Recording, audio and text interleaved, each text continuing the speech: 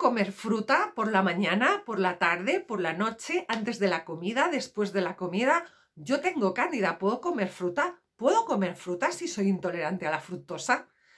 Bueno, todas estas preguntas me encanta responderlas porque me tenéis loca con esto, sobre todo en consulta.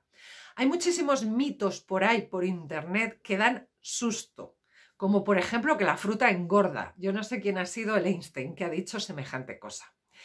La fruta es un alimento maravilloso porque es un alimento vivo, lleno de nutrientes, de vitaminas, de antioxidantes y muchas de ellas son hasta medicinales. Entonces, ¿debo yo dejar de comer esta maravilla de la naturaleza porque tenga cándida? Pues mira, no. Tú tienes cándida porque tu terreno se ha desequilibrado. Es decir, te faltan cierto tipo de minerales y o vitaminas, tu terreno se ha desequilibrado y entonces la cándida, que es algo que tienes dentro, no es que venga de fuera, se ha desequilibrado y ha montado un poco de lío. Entonces, cuando tú tienes cándida, lo que estamos intentando es equilibrar el terreno, no matarte a ti de hambre y dejarte sin nutrientes. Entonces, ¿puedo comer fruta con la cándida? Por supuesto, debes comer fruta, pero hay que saber cómo, ¿vale? Por ejemplo, si queremos perder peso, la fruta puede ser un aliado maravilloso. Porque la fruta tiene fibra y lo que hace es dar sensación de saciedad. Si lo que pretendes es adelgazar, tómate la fruta justo después de la comida y de la cena, porque de esta manera tendrás una sensación de saciedad, no querrás comer más y además retrasarás tu digestión. Si lo que tienes es diabetes, ¿cómo tienes que comer la fruta? Pues procura no tomarla nunca sola. ¿Por qué? Porque la fruta efectivamente tiene azúcar. No es el azúcar que pueda tener una harina o una bollería industrial. Es un azúcar que se llama fructosa. No se sintetiza igual. La fructosa se sintetiza en el intestino delgado, no en el hígado. Pero sí es verdad que la fruta en los diabéticos tiene la capacidad de hacer fu, fu. Es decir, os pega un subido muy grande y luego una bajada muy grande. Entonces, ¿de qué manera podemos retrasar fu, ese subidón? Pues metiéndole proteína o grasas. Entonces, ¿cuándo debe tomar la fruta un diabético? Pues siempre después de una comida o si la va a tomar sola, después de comer la fruta o antes de comer la fruta, tomar algo de proteína animal o algo de grasa. Es decir, si vas a hacer una merienda, pues tómate un bocadillo de jamón y luego una fruta, ¿de acuerdo? Porque así, si tú tomas la fruta sola, te va a pegar una subida instantánea muy rápida. Si por el contrario lo que tienes es diabetes gestacional, que es una diabetes eh, producto de un follón hormonal que se da en algunas embarazadas, pues tendrás que evitar la fruta durante la parte de la mañana. ¿Por qué? Porque durante la parte de la mañana es cuando las hormonas están más altas y es cuando más reacción te puede hacer ese azúcar. Entonces, si tienes diabetes gestacional, toma la fruta a partir de las 2 de la tarde en adelante y puedes hacer lo mismo que los de la diabetes tipo 2, tomarla acompañada de proteínas o grasas sanas que van a hacer que el pico de índice glucémico no sea tan alto. Pero si tienes una enfermedad inflamatoria intestinal, intestino permeable, intestino irritable, sobrecrecimiento bacteriano y todas estas cosas de las que yo os he estado hablando todo el rato, lo que vas a hacer es quitar la fruta de las comidas, la vas a tomar sola. ¿Por qué? Porque de la misma manera que si estabas intentando adelgazar, te llenaba, te hacía sentir saciado y retrasaba la digestión, los que tenéis problemas digestivos ya os sentís hinchados de por sí, con lo cual no es nada de buena idea meter la fruta.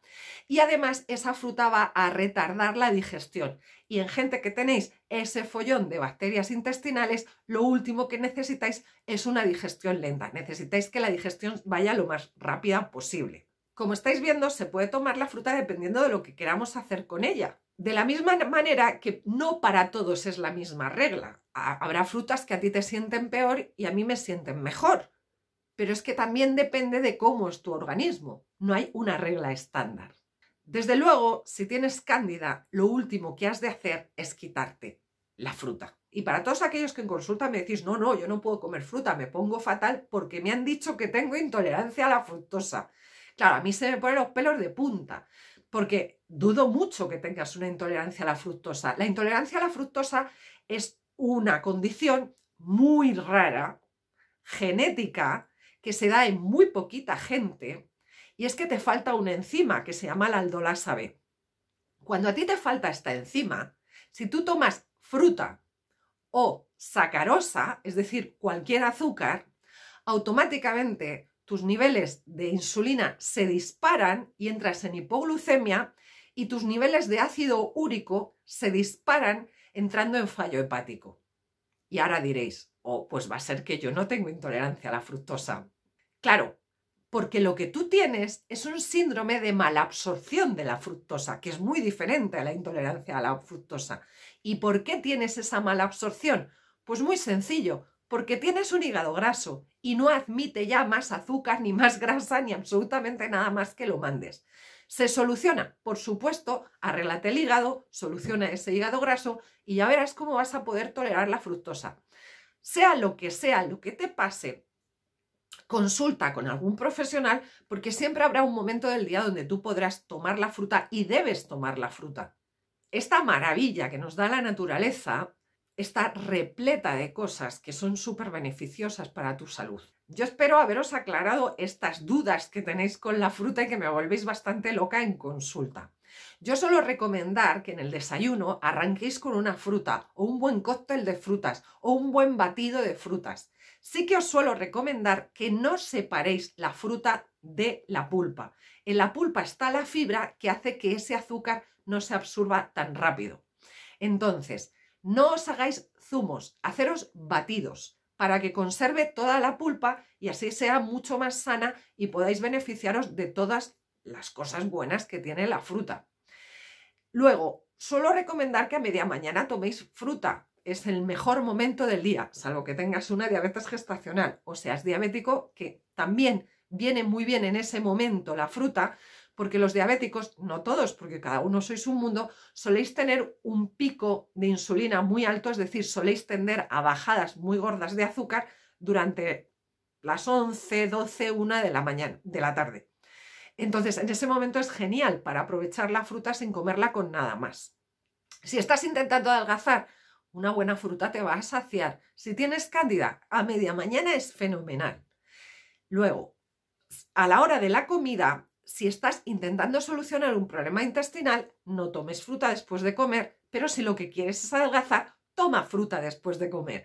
¿Que tienes diabetes? Toma fruta después de comer. En la merienda, pues ahí cada uno como le apetezca y quiera. Y en la cena, pues volvemos a la misma historia. Si estás con un problema digestivo donde en cuanto que comes cualquier cosa te produce gases o tienes una candidiasis, no tomes fruta después de la comida, que eso se va a hinchar todavía más y va a ser mucho más difícil la digestión, va a ser más lenta. Pero sin embargo, si tienes diabetes, has de tomar fruta después de, la cena. Bueno, chicos, yo me despido, no sin antes recordaros que si tú pones luz en aquello que desconoces, el miedo siempre desaparece. Un beso grande.